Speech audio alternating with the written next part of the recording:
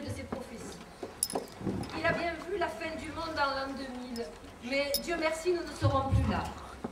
Savez-vous que Catherine de Médicis et Charles IX, et même Henri de Navarre, lui demandent ses prophéties?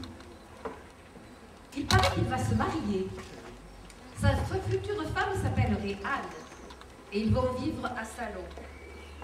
Il y avait Antoine, notre juge de paix. Il nous arrive d'Avignon, les natifs de Soliespont dans le Var. Quel talent pour la danse. Cela ne m'étonnerait pas qu'un de ces jours, il écrive un livre à ce sujet. Ils ont tous beaucoup dansé, et la soirée s'est terminée si tard qu'ils se sont tous endormis. Si vous voulez, grâce au fait dragé, nous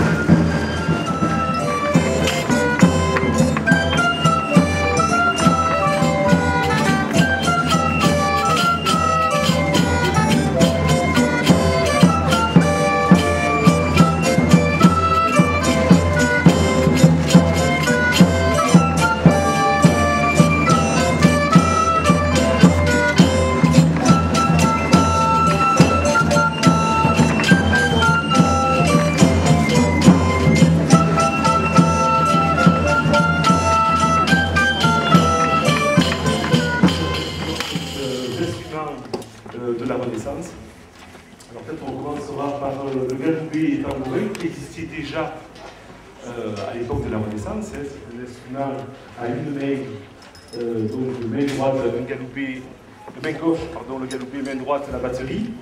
L'instrument est, connu dès le Moyen Âge, hein, vraiment, sans problème, dans toute l'Europe.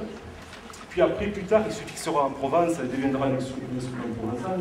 Mais la Renaissance, on en retrouve en Allemagne, on en retrouve dans les Flandres, et en France partout.